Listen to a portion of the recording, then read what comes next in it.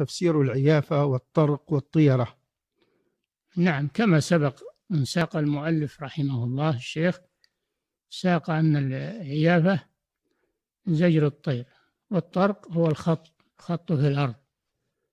والطيرة معروفة هي التشاؤم هي كلها من أنواع السحر. نعم.